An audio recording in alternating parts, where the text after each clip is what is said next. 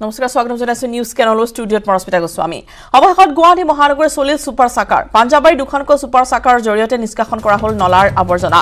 ছমাহ ধৰি হোৱা ছমাহ ধৰি দৰমহা নোপোৱাৰ বাবে কাম বন্ধ কৰি ৰাখিছিল কৰ্মচাৰীসকলে কিন্তু পুনৰবাৰ এতিয়া গুৱাহাটীত চলিছে ছুপাৰ চাকাৰ। পাঞ্জাবাৰী দুখনকৈ ছুপাৰ চাকাৰৰ জৰিয়তে নলাৰ আৱৰ্জনা নিষ্কাশন কৰা হৈছে। প্ৰায় ছমাহ ধৰি দৰমহা নোপোৱাৰ বাবে কাম বন্ধ ৰাখিছিল কৰ্মচাৰীসকলে আৰু অৱশেষত ছুপাৰ চাকাৰৰ জৰিয়তে। নলা নিষ্কাশনৰ কাম আৰম্ভ হৈছে।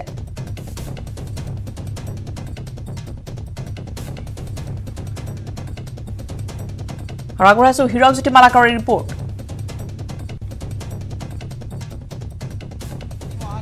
Super sucker. আচলতে কোটি টকীয়া ব্যয় সাপেক্ষে অনা এই ছুপাৰ চাকাৰসমূহ আজি অৰ্থাৎ শনিবাৰ দিনটো চলা দেখিবলৈ পোৱা গৈছে। শুকুৰবাৰ দিনটোতো ছুপাৰ চাকাৰসমূহৰ কাম দেখিবলৈ পোৱা গৈছিল আৰু এই মুহূৰ্তত দেখিছে পাঞ্জাবাৰী কলাক্ষেত্ৰৰ সমীপত আজি পুৰবী পুৰবী মিল ডায়েৰী ডায়েৰীৰ যি কাৰ্যালয় আছে কাৰ্যালয়ৰ সন্মুখত এই ছুপাৰ চাকাৰ চলোৱা দেখিবলৈ পোৱা গৈছে। আৰু ছুপাৰ চাকাৰ জৰিয়তে যিটো বানপানী বান নিয়ন্ত্ৰণ কৰা হ'ব বা এনে বা যিবোৰ আৱৰ্জনা আছে সেই আৱৰ্জনা নিৰ্মূল কৰা হ'ব বুলি কোৱা হৈছিল সেনেদৰেই ইয়াত দেখিব পোৱা গৈছে যে যিসকল কৰ্মচাৰী আছে সেই কৰ্মচাৰীসকলে এনেদৰে ছুপাৰ চাকাৰ চলোৱা দেখিবলৈ পোৱা গৈছে। আৰু বিভিন্ন সময়ত প্ৰশ্ন উত্থাপন হৈছিল যে কেইবাখনো কোটি টকীয়া এখন ছুপাৰ চাকাৰ যিহেতু দুইৰ পৰা তিনি কোটি টকা ব্যয়ৰ সাপেক্ষে ছুপাৰ চাকাৰ অনা হৈছিল। কিন্তু সেই ছুপাৰ চাকাৰসমূহ যিটো অভিজ্ঞ লোকৰ অভিজ্ঞ লোক নোহোৱাৰ বাবে তেওঁলোকে সেই ছুপাৰ সমূহ চলাব পৰা নাছিল বুলি মুখ্যমন্ত্ৰীয়ে এটা কথা বাৰে বাৰে উল্লেখ কৰিছিল। কিন্তু এই মুহূৰ্তত দেখিছে যে আপুনি দুখনকৈ ছুপাৰ চাকাৰ লগোৱা হৈছে গুৱাহাটী মহানগৰী এই পাঞ্জাবাৰীত আৰু দুখনকৈ ছুপাৰ চাকাৰ জৰিয়তে যিহেতু যিহেতু যিবোৰ জাবৰ নিষ্কাশনৰ লগতে লগতে আন আন যিবোৰ যিবোৰ আৱৰ্জনা নলাসমূহৰ আৱৰ্জনা সেই আৱৰ্জনাসমূহ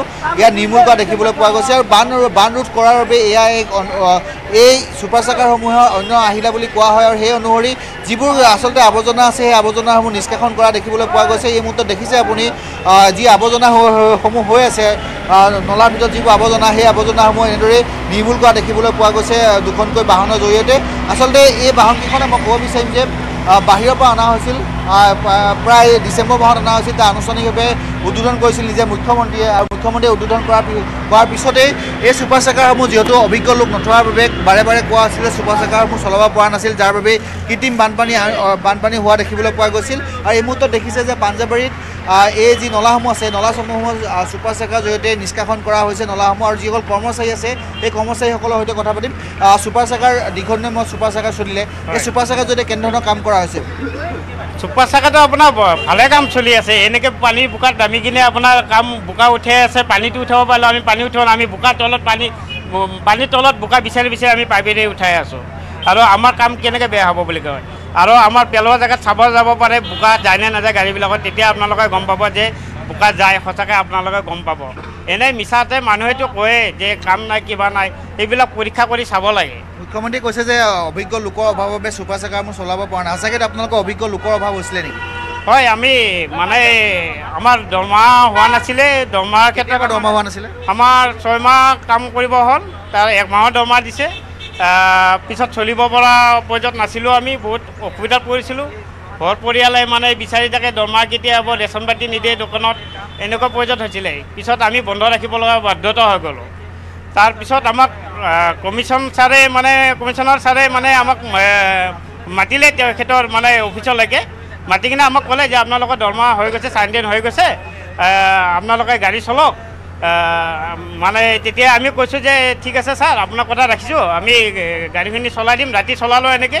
আৰু এতিয়া আমি আহিছোঁ গাড়ী মানে চলাবৰ কাৰণে এখন গাড়ী লোড হৈছে আৰু এখন লোড কৰিব। আমি কাম চলাই আছোঁ। আৰু দৰমহা কিমান দৰমহা আপোনালোকৰ ছটা মাহে দৰমহা দিয়া নাছিল তাৰ বাবে তাৰ বাবে চলোৱা নাছিলে আচলতে হয় আমি দৰমহা নিদিয়াৰ কাৰণে আমি চলোৱা নাছিলোঁ মানে কি যোৱা শনিবাৰৰ পৰাই আজি শনিবাৰ পৰিলে নেকি মানে যোৱাকালিৰ পৰা আমি গাড়ী ষ্টাৰ্ট কৰিছোঁ তেখেতে দৰমহা দিম বুলি কোৱাৰ পিছত। তেখেতে মানে ভালে কৈছে তেখেতে গমেই পোৱা নাছিলে যে দৰমহা পাতি হোৱা নাই এই ছুপাৰ চাকাৰ জৰিয়তে এই জাবৰ নিষ্কাশন কৰা হয়নে অন্য কিবা পানী উঠোৱা হয়নে? জাবৰ এতিয়া দেখিছোঁ জাবৰহে কেৱল উঠোৱা হৈছে। নাই, তাৰমানে আপোনাৰ ডাঙৰ ডাঙৰ বস্তা এই শিল বালি এই ডাঙৰ ডাঙৰ যদি শিল থাকে বস্তা থাকে এনেকুৱা ডাঙৰ ডাঙৰ লাঠি থাকে তেনেহ'লে সেইবিলাক নোসোমায়। পাইপটো সৰু আমাক যদি ভাতৰ মুঠিটো যদি তাতকৈ যদি ডাঙৰ কৰি খাব বিচাৰোঁ আমাৰ ডিঙিত খোপা লাগিব। এতিয়া এতিয়া জাবৰ নিষ্কাশন কৰি থকা দেখিছোঁ পানীও এনেকৈ উঠোৱা হ'ব নেকি? না পানীটো আপোনাৰ এইটো পানীটো নিজে নালা নালা গুচি যাব আমি যেতিয়া মেইনলি ছুপাৰ চাকৰ কাম জাবৰবোৰ নিষ্কাশন কৰা। হয় হয় হয় মাটি জাবৰ এইবিলাক আমি ক্লিয়াৰ কৰি দিলে আমাৰ পানীটো নিজে গুচি যাব মানে নামনিলৈকে।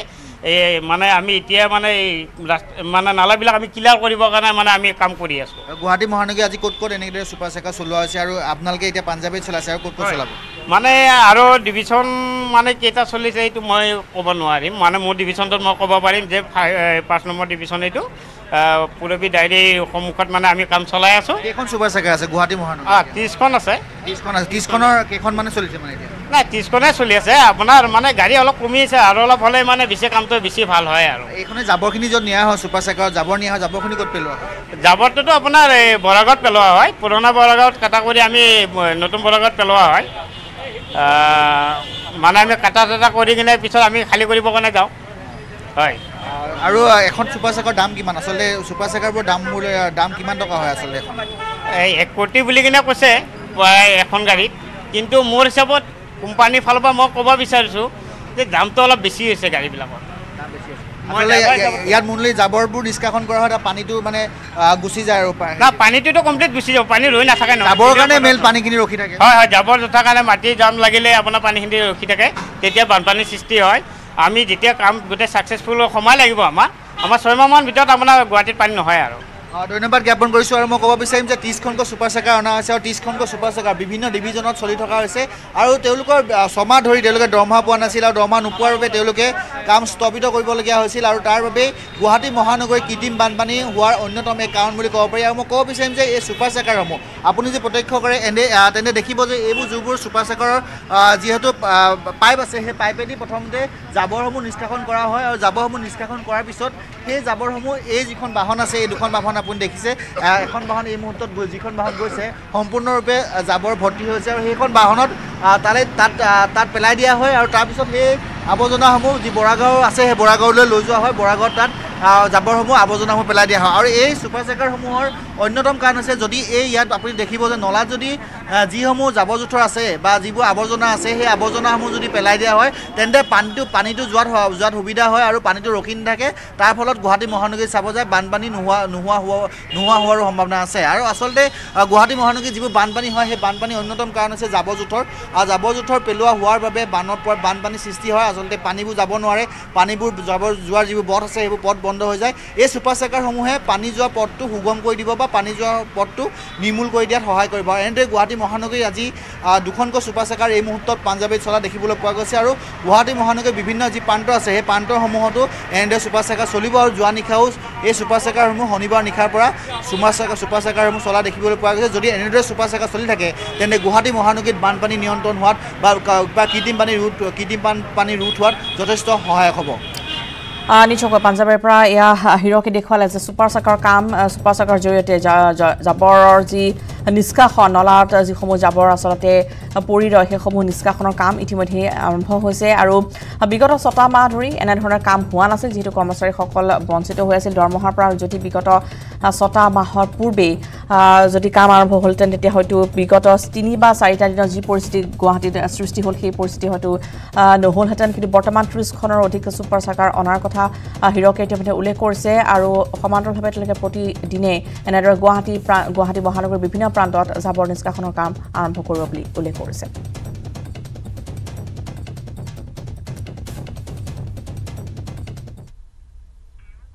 ৰঙিয়াত উপস্থিত হ'ল মুখ্যমন্ত্ৰী হিমন্ত বিশ্ব শৰ্মা। ৰঙিয়াত বান পৰিস্থিতিৰ বুজ ল'লে মুখ্যমন্ত্ৰীগৰাকীয়ে। ৰঙিয়াৰ কলা জলৰ আশ্ৰয় শিবিৰ পৰিদৰ্শন কৰে মুখ্যমন্ত্ৰীয়ে। ৰঙিয়া তামোলপুৰ পথৰ বান পৰিস্থিতিৰ বুজ ল'লে মুখ্যমন্ত্ৰীয়ে। পুনৰবাৰ জনাইছো যে আজি ৰঙিয়াত উপস্থিত হয় মুখ্যমন্ত্ৰী হিমন্ত বিশ্ব শৰ্মা আৰু ৰঙিয়াত উপস্থিত হৈ বান পৰিস্থিতিৰ তেওঁ বুজ লয়।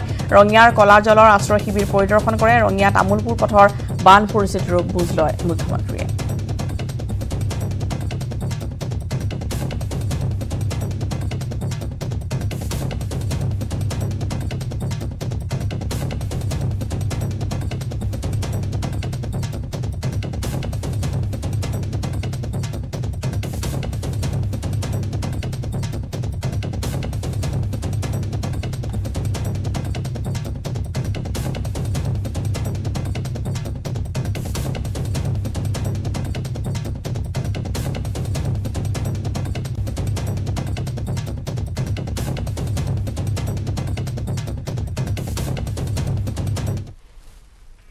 নেৰানেপেৰা বৰষুণৰ ফলত খহিছে বশিষ্ঠৰ নৈৰ গৰা। গোচাইবাৰীৰ জ্যোতিকুচি অঞ্চলত তীব্ৰ খহনীয়া চপৰা চপৰা খহিছে নৈৰ গৰা। একমাত্ৰ নিউজ এইটিনৰ কেমেৰাত বন্দী হৈছে খহনীয়াৰ এক্সক্লুচিভ দৃশ্যাংশ। পুনৰবাৰ জনাইছো যে নৈৰ গৰা খহাৰ দৃশ্য বন্দী হৈছে একমাত্ৰ নিউজ এইটিনৰ কেমেৰাত। নেৰানেপেৰা বৰষুণৰ ফলত এতিয়া বশিষ্ঠ নৈৰ গৰা খহা পৰিলক্ষিত হৈছে। গোচাইবাৰীৰ জ্যোতিকুচি অঞ্চলত তীব্ৰ খহনীয়াই দেখা দিছে। চপৰা চপৰা খহিছে নৈৰ গৰা। একমাত্ৰ নিউজ এইটিনৰ কেমেৰাত বন্দী হৈছে কেতবোৰ এক্সক্লুচিভ দৃশ্য।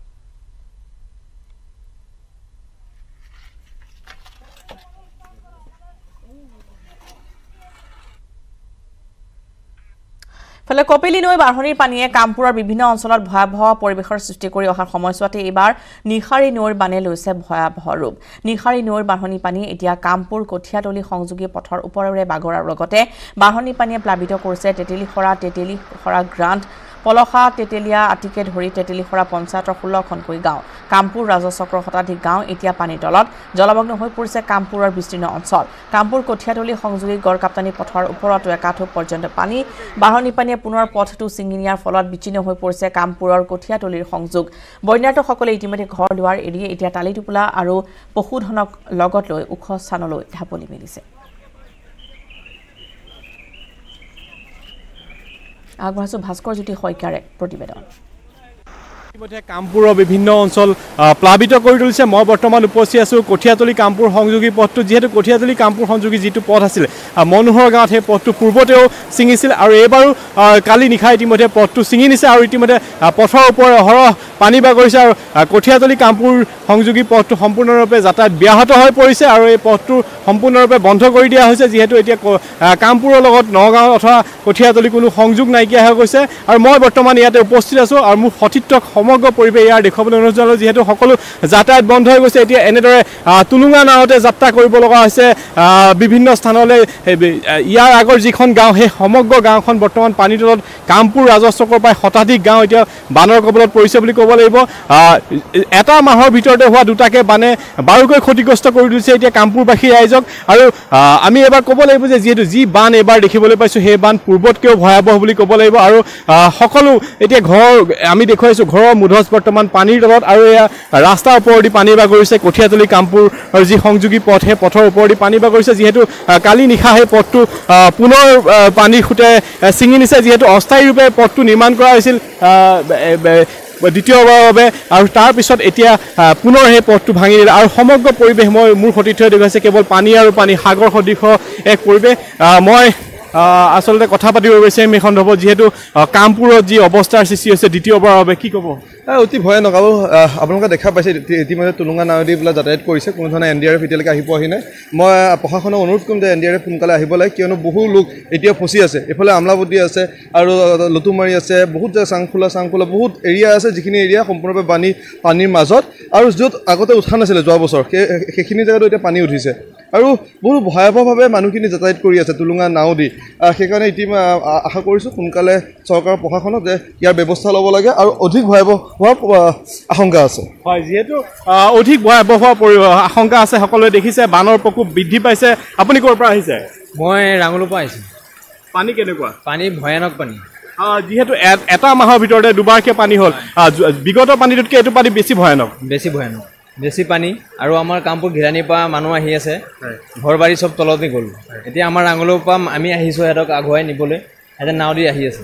প্ৰশাসন ৰাজ্যৰ অন্যান্য প্ৰান্তৰ লগতে মাজুলীতো বানৰ সংহাৰ খেৰকটীয়া নৈৰ বাঢ়নি পানীয়ে ছিঙিলে বালি জকাই বোৱা টেঙাগুৰি কৃষি বান্ধ মধ্য মাজুলীৰ বিস্তীৰ্ণ কৃষিভূমি আৰু কুৰিখন গাঁৱলৈ ভাবুকি কৃষি বান্ধৰ কাষতে থকা নামনি জকাই বোৱা মধ্য ইংৰাজী বিদ্যালয়ৰ ছাত্ৰ ছাত্ৰী শিক্ষকৰ বিপদসংকুল যাতায়ত।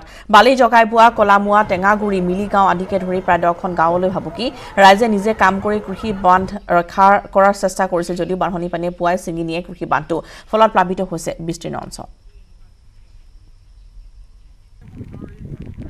আগবঢ়াইছো ভাস্কৰ কাকতিৰ এক ৰিপৰ্ট। নিশ্চিতভাৱে নেৰানেপেৰা বৰষুণৰ ফলত ব্ৰহ্মপুত্ৰ আৰু ইয়াৰ নদী উপনৈসমূহৰ জলপৃষ্ঠ বৃদ্ধি পাইছে। মই দেখুৱাইছোঁ পুৱাৰ ভাগৰ এক দৃশ্য যে মাজুলীৰ এক এটা কৃষি বান্ধ ইতিমধ্যে খেৰকটীয়া নৈয়ে ভাঙি লৈ গৈছে। পকাজোৰা গাঁও পঞ্চায়তৰ অন্তৰ্গত যি কৃষি বান্ধ আছিল বালি জকাইবোৱা গাঁৱত যি কৃষি বান্ধ আছিলে এই কৃষি বান্ধটো বৰ্তমান ভাঙি লৈ যোৱাৰ ফলত যিসমূহ স্কুলীয়া ছাত্ৰ ছাত্ৰীকে ধৰি ইয়াৰ স্থানীয় লোক বৰ্তমান পাৰ পাৰ হ'বলৈ যথেষ্ট অসুবিধাৰ সন্মুখীন হৈছে আৰু আমি কথা পাতিবলৈ যত্ন কৰিম। কৃষিমান নাছিলে এইটো যে ৰাতিপুৱাই ছিঙি নিছে আচলতে? হয় হয়।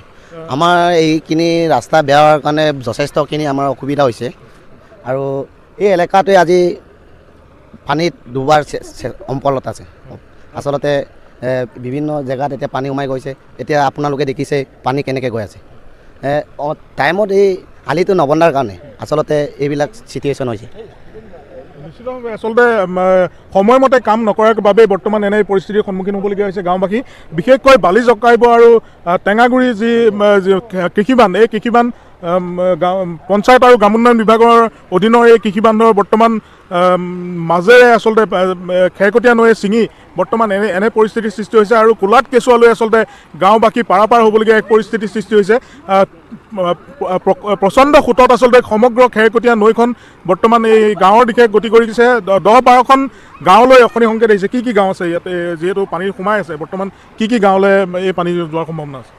এই গাঁওখন আমাৰ মেলিগাঁও ইয়ালচাপৰি বগৰীগুৰি আপোনাৰ গড়মূৰলৈকে আমাৰ বালি জকৈ বা মাজুলী কোলমোৱা মেক্সিমাম ইয়াত দহ বাৰখন গাঁও ইয়াত মানে আমাৰ বিপদত হ'ব। বিপদ হ'ব। আৰু পানী বাঢ়ি আহি আছে নেকি? পানীটো এতিয়াতো হুৰা হুৰে বাঢ়ি আছে। আৰু এতিয়াৰ পৰা এতিয়াৰ পৰা মানে আমাৰ স্কুল শিক্ষা লোৱা ষ্টুডেণ্টৰ পৰা টিচাৰৰ পৰা আহিব নোৱাৰে। আমাৰ আজিৰ পৰা কলেজ স্কুল চব বন্ধ হ'ব।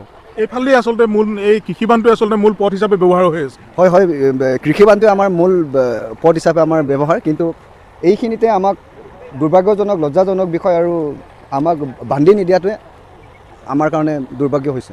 আপোনালোকে দেখুৱাইছিলে যে কিছু সময় পূৰ্বে এক এগৰাকী প্ৰসূতিক মানে এই চাইকেলেৰে লৈ যাবলগীয়া হৈছে। হয় হয় এইটোতো আৰু বাৰম্বাৰে কৈয়ে আছোঁ প্ৰসূতি চাইকেলতো লৈ যাব নোৱাৰে বুকুচা বান্ধিখিনি লৈ যাবলগীয়া হৈছে। ইপাৰৰ পৰা চাইকেলত ঠেলি মেলি যেনে তেনে হস্পিটেললৈ নিবলৈ হৈছে আৰু এইটোতো বোকা পানী ইফালে আগতো যাব নোৱাৰে। বানৰ কবলত পৰিছে ডিব্ৰু চৈখোৱা ৰাষ্ট্ৰীয় উদ্যান। ডিব্ৰু চৈখোৱাৰ তিনিখনকৈ গাঁৱত এতিয়া হাহাকাৰ পৰিস্থিতি। বানৰ কবলত তিনিচুকীয়াৰ গুইজান আৰক্ষী চকী আৰক্ষীসকলে পানীৰ মাজতে নিজৰ কৰ্তব্য পালন কৰা দেখা গৈছে। গুইজানৰ পথৰ ওপৰত টুলুঙা নাৱেই হৈ পৰিছে যাতায়াতৰ একমাত্ৰ উপায়। চৰকাৰ তথা চাবুৱা সমষ্টিৰ বিধায়ক পুনাকন বৰুৱাক ব্যৱস্থা গ্ৰহণ কৰিবলৈ আহ্বান বন্যাৰ্তৰ উপাসনা গোস্বামীৰ ৰিপৰ্ট প্ৰায় পোন্ধৰ দিন ধৰি নেৰানেপেৰা বৰষুণৰ ফলত বিশ্ববিখ্যাত ডিব্ৰুচৈখোৱা ৰাষ্ট্ৰীয় উদ্যান বৰ্তমান বানপানীৰ কবলত আৰু মই এই মুহূৰ্তত উপস্থিত আছোঁ তিনিচুকীয়া জিলাৰ গুইজানত। আৰু গুইজানৰ যি পৰিৱেশ মই নিউজ এইটিনৰ দৰ্শকক দেখাম। কিয়নো সমগ্ৰ অসমতে যিহেতু বানপানীৰ সৃষ্টি হৈছে হাহাকাৰ সৃষ্টি হৈছে আৰু সেই মুহূৰ্তত মই বৰ্তমান উপস্থিত আছোঁ তিনিচুকীয়াত। আৰু তিনিচুকীয়াৰ গুইজানৰ পৰিৱেশ মোৰ বৰ্তমান সঠিক হৈ দেখাইছে। বৰ্তমান আমি নাৱেৰে টুলুঙা নাৱেৰে আমি যাত্ৰা কৰি আছোঁ আৰু এই মুহূৰ্তত দেখাইছোঁ যে যিটো গুইজানৰ পৰিৱেশ যিটো গুইজানৰ যি গাঁওসমূহ আছে বৰ্তমান বানপানীৰ কবলত আৰু গুইজান আৰক্ষী চকীত বৰ্তমান আমি উপস্থিত আছোঁ। আৰু মোৰ লগত যিহেতু গাঁওবাসী আছে মই তেওঁৰ লগত তেওঁলোকৰ লগত কিছু কথা পাতিবলৈ যত্ন কৰিম। যিহেতু প্ৰতিবাৰৰ দৰে এইবাৰো বানপানীৰ সৃষ্টি হৈছে। আৰু আপোনালোকে এনেদৰে বানপানীত যিহেতু আপোনালোকৰ ঘৰত নাও প্ৰতিবাৰ থাকেই। আপোনালোকে আগৰ পৰাই যিহেতু যুঁজি আছে বানপানীত সেই সমস্যাত কি ক'ব এই মুহূৰ্তত? সমস্যাটো একদম বহুতেই বেয়া। প্ৰত্যেক এই বানপানীটো একো নতুন কথা নহয় এইটো প্ৰত্যেক বছৰে তিনি চাৰিবাৰ পাঁচবাৰ হৈ থাকে। কিন্তু এতিয়া মানে ডিব্ৰুচকীয়া জলবিষ্ট হয়। এতিয়া চাৰি পাঁচখন গাঁও পানীত কবলত আছে যেনেকুৱা লাইকা দধিয়া গৰমজান এৰাৱতী এ, নতুন গাঁৱৰ গাঁও এইফালে খামটুকলি।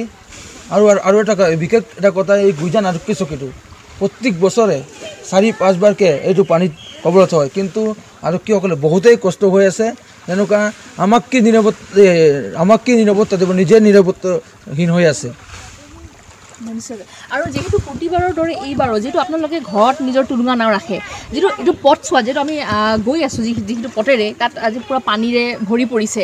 আৰু বহুতো যি গুইজানত যি ৰিজৰ্টসমূহ আছে প্ৰতিটো বানপানীৰ কবলত চৰকাৰৰ ফালৰ পৰা কিবা সহায় বা যিটো চাবুৱা সমষ্টি পৰে এই অঞ্চলটো চাবুৱা সমষ্টিৰ যিটো বিধায়ক পুনাকন বৰুৱা তেওঁ আহিছেনে খবৰ লৈছিলেনে যিটো প্ৰতিবাৰৰ এটা সমস্যা। কিন্তু এতিয়ালৈ আমাৰ কিবা চাবুৱা সমষ্টিৰ বিধায়ক পুনাকম বৰুৱালৈ আমি ফোন কৰি কৈছিলোঁ কিন্তু এতিয়ালৈ আহি পোৱা নাই যদি আহিব পাৰে। কিন্তু আমি ইতিমধ্যে আমি চাৰ্কল অফিচকো ফোন কৰি ক'লোঁ যে এনেকুৱা এনেকুৱা বহুতে গাঁও পানীৰ কবলত আছে। কিন্তু এ, মণ্ডল সৈতে আহিছে ক'ত পানী উঠিছে ক'ত নাই গোটেই হেৰি চব লিখি লৈ গৈছে। আমি সকলোৱে বিচাৰোঁ আমাৰ সকলোৰে সপোনৰ ঘৰখন হওক। কিন্তু প্ৰকল্পটো বনোৱাৰ পূৰ্বে কিছুমান জৰুৰী কথা আছে যিবোৰ আপুনি মনত ৰখাটো প্ৰয়োজন। কি এই কথা? দুবাৰীত অঘটন বাঢ়নি পানীত উঠি গ'ল এজন ছাত্ৰ। সৌৰাগুৰিৰ এটা ডাঙৰ পোনা পানীতে পৰি ডুঙৰ পানীত পৰি সন্ধানহীন হ'ল ছাত্ৰজন। সন্ধানহীন ছাত্ৰজন হৈছে ষোল্ল বছৰীয়া দেৱজিৎ দে। শুকুৰবাৰে বিয়লি সংঘটিত হ'ল এই ঘটনাটি। ছাত্ৰজন আন দুই বন্ধুৰ সৈতে এখন স্কুটিৰে আহি সৌৰাগুৰিত কেঁকুৰি এটা পাৰ হওঁতে বিদ্যুতৰ খুটাত খুন্দা মাৰে আৰু তিনিওগৰাকী কিশোৰ পানীত পৰি যায়। বাকী দুগৰাকী শিশু ৰক্ষা পৰে যদিও দেৱজিৎ দেৰ এতিয়াও সন্ধান ওলোৱা নাই। ইতিমধ্যে উদ্ধাৰকাৰী দলে ঘটনাস্থলীত উপস্থিত হৈ শিশুজনক উদ্ধাৰৰ বাবে চেষ্টা চলাইছে। এইবাৰ হাইস্কুল শিক্ষান্ত পৰীক্ষাত সুখ্যাতিৰে উত্তীৰ্ণ হৈছে দেৱজিৎ দে।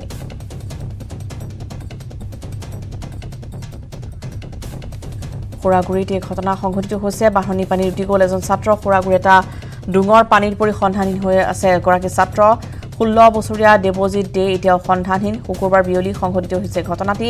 আন দুই বন্ধুৰ সৈতে এখন স্কুটিৰে আহি সৌৰাগুৰিত কেঁকুৰি এটা পাৰ হ'বলৈ লওঁতে বিদ্যুতৰ খুটাত খুন্দা মাৰে আৰু তিনিওগৰাকী কিশোৰ পানীত পৰি যায়। বাকী দুটি কিশোৰ ৰক্ষা পৰিছে যদিও দেৱজিৎৰ সন্ধান এতিয়া উলিয়াব পৰা হোৱা নাই। ইতিমধ্যে উদ্ধাৰকাৰী দলে ঘটনাস্থলীত উপস্থিত হৈ কিশোৰজনক উদ্ধাৰৰ চেষ্টা অব্যাহত ৰাখিছে যদিও সফল হোৱা নাই। এইবাৰ হাইস্কুল শিক্ষান্ত পৰীক্ষাত সুখ্যাতিৰে উত্তীৰ্ণ হৈছিল দেৱজিৎ দে।